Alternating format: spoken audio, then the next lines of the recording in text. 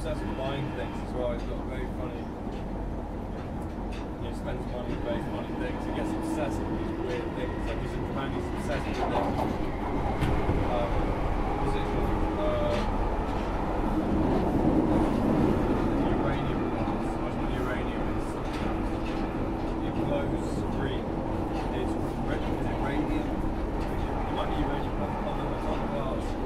It, it's it's radioactive.